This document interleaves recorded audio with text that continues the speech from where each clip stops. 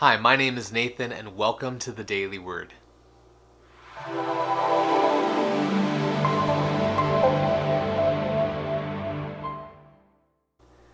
On today's episode of the Daily Word, we'll be in Proverbs chapter 18, verse 6. Let's read the scripture together on the count of three. One, two, three. A fool's lips bring him strife, and his mouth invites a beating. Our daily word for today is the word strife. Let's say this word together strife.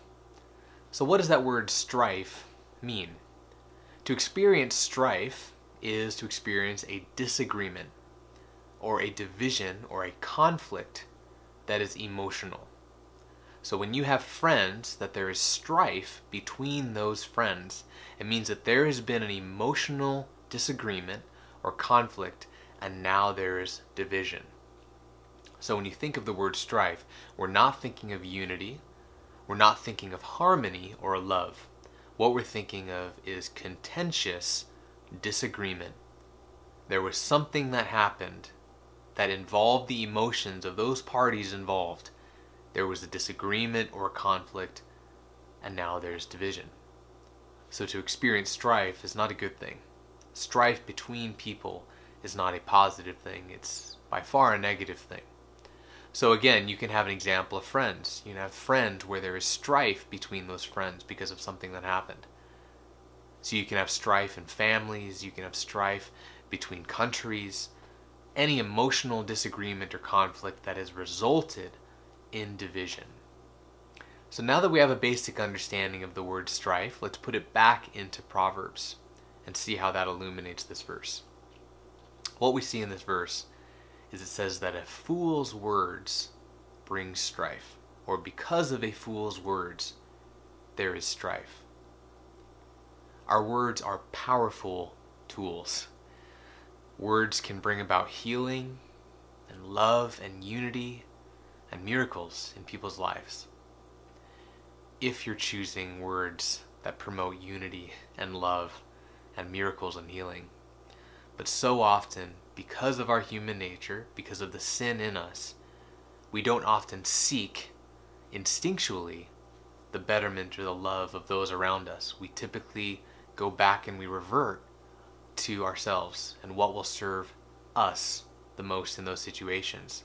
So when we're relating to people and we're having conversations and there's a disagreement, it's very easy for us to use words that will inflict pain very easy for us to use words that promote strife and not unity. And what we see in the scriptures, what the Lord is revealing to us in Proverbs, is that to do this, to use words that bring strife, is to be a fool. So to be a fool is to lack wisdom. To be a fool is to not be discerning. So when you are a fool, you're aimless and you're reacting emotionally. You're not seeking the wisdom and discernment of the Lord, and in our case, because of Jesus, seeking the Holy Spirit to counsel us in those moments of heated debate or heated conversation. Something that was said that brings about things in us that make us upset or frustrated. In those moments, the fool does not seek the Lord and to say, Lord, let me see these things from your perspective. Let me see these people from your perspective.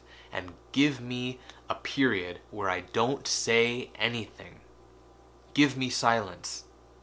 The fool speaks without thinking, just emotionally. And when that happens, because of that emotional reaction, there's strife. Because those words of the fool often are not there promoting the betterment of that conversation or that group or that relationship. It's seeking to serve the self. The emotions of the self want to feel something, and saying those words bring about that satisfaction that only serves that self, not the others. So to be wise in the Lord and to seek the counsel of the Holy Spirit because of Jesus we will see things from him, his perspective. He will give us a period of silence so that when we speak, our words promote unity, love, and the gospel. Because that is our basis of living once we accept Jesus as Lord is that we are ministers of the good news of the gospel to all people. Now, to be a fool is to reject that. To be a fool is to speak emotionally, to speak instinctually, and to not have the betterment of the gospel and the kingdom of God and his people in mind, but to have the betterment of the self in mind. So the question for us is when you are in those situations, are you quick to speak?